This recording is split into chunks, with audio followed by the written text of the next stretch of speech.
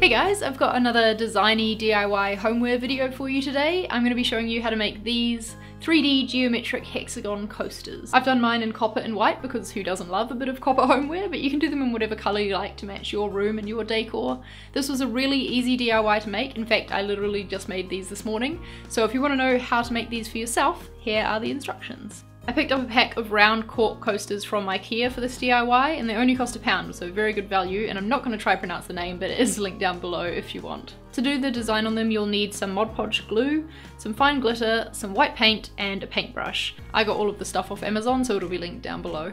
You'll also need a pencil and a ruler, some masking tape, a craft knife, and a cutting mat. To make the hexagon shape, draw a line down the middle of the coaster and then a dotted line crossing through that for alignment.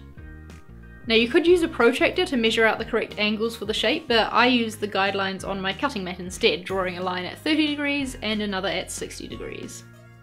Then just join up the points, ignoring the dotted line to get your shape. Cut the edges off with a sharp craft knife and you've got yourself a hexagon.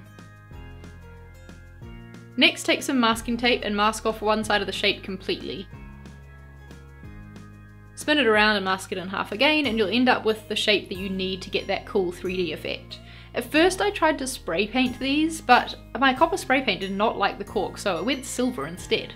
So plan B, I took my glue and painted over the spray paint, and then coated it in glitter. Just a wee tip here, a smart thing to do to not waste the excess glitter is to glue up the next coaster and then shake the excess from the first one onto it. Maybe you'll have to top it up a little bit, but it's definitely a good way to use up that excess glitter you'd be shaking off anyway. Let the glue get a bit tacky and then peel off the masking tape before it dries completely. You should be left with nice sharp lines and a section of copper glitter that looks like this. To seal the glitter, paint over it again with another layer of Mod Podge glue. Don't worry, it dries clear, but this will just hold it in place much better than if you just left it. When that's dried a bit, stick some tape on to mask out the next section. This one I just filled in with white paint and grabbed a smaller brush to get the edges as neat as possible. Again, leave these to dry for a bit and then take the tape off before it dries completely. Some paint snuck under the edges of mine a little bit, so I just tidied that up by wiping it off with a craft knife. Once they're all dry, your coasters are done. I really love the way these turned out. They look great sitting on the table and I think they kind of look like something you'd buy in Oliver Bonas or Urban Outfitters or something, but these ones were so cheap to make, which is awesome. So despite that initial spray paint fail, I think that these coasters turned out to be a success. I really like how they look like 3D cube drawings, do you see what I mean? And I like the interesting mix of materials with the cork and the glitter and the paint.